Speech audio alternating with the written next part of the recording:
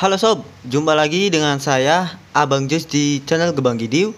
Di video saya kali ini saya akan bagikan tips dan trik cara memperbaiki saat mau masuk ke gigi 9191 itu muncul error segmen fault ya. Contohnya di sini menggunakan Pulstone Android versi terbaru. Untuk saat ini versi yang saya gunakan itu 2.6. Namun saat mau di gigi atau aktivasi firmware itu error. Contoh di sini saya sudah saya sambungkan ke wifi ya atau ke internet. Ya, contoh seperti ini. Ini sudah saya sambungkan ke internet namun terjadi error seperti ini sob. Nah, kita masuk ke SU ya di terminal lalu enter lalu 9191 itu error seperti ini ataupun segmen fault ya. Nah, kebetulan tadi itu sudah saya hapus. Aslinya seperti ini sob. Nah, tapi kebetulan sudah saya hapus untuk filenya. Untuk filenya itu ada di sini sob. Di bagian S File Explorer, lalu di bagian device, lalu di bagi di device ya. Nah, kita ulangi lagi. Sebelumnya eh, sobat ini dulu ya di bagian tool. Lalu di bagian road explorer itu dihapus eh, di dicentang ya. Dicentang jika sudah dicentang masuk ke lokal lagi lalu di device lalu di bagian sistem lalu di bin. Nah untuk ini sebenarnya ada 9191 ya. Jika sobat baru pemu, e, baru masuk ke sini sebenarnya ada 9191. Nah, tadi saya sudah hapus. Nah, silakan sobat dihapus saja nanti diganti dengan 91 terbaru. Oke, sudah dihapus.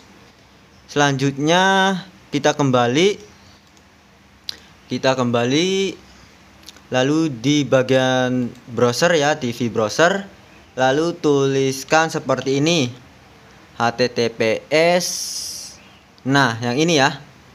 Https adubata.me 9191 bin.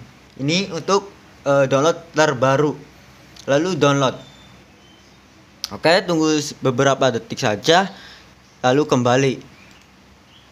Oke lalu dilihat di bagian download. Nah untuk 9191 nya sudah ke download lalu tekan lalu ini di rename ya.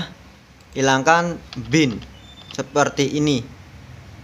Oke lalu klik oke saja. Sekarang kita copy atau paste. Kita copy saja.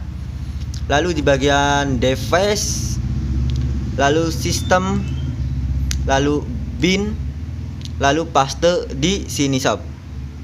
Kita ganti ya paste Nah, ini sudah ada ya 9191. Oke, sekarang kita coba lagi ke terminal emulator lalu 9191. Apakah terjadi segmen fault lagi atau error yang lain? Kita lihat.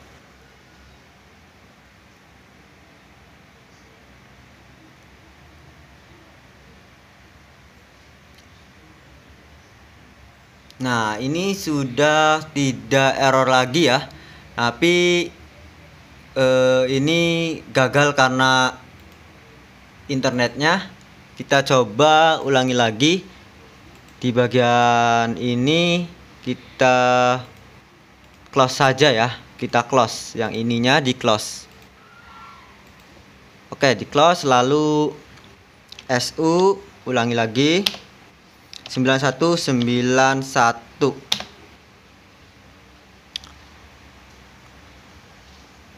kalau masih error berarti ya internetnya dan terlihat di sini sudah berhasil ya sob silakan sobat bisa registrasi atau aktivasi firmware-nya Oke, mungkin itu saja video saya kali ini. Kurang lebihnya mohon maaf jika sobat suka dengan video ini.